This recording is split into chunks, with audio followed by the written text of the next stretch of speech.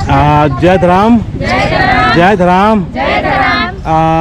तो एन कुड़ुक भाइयों बाब एकदम की नाम नाम है शक्ति खुटा।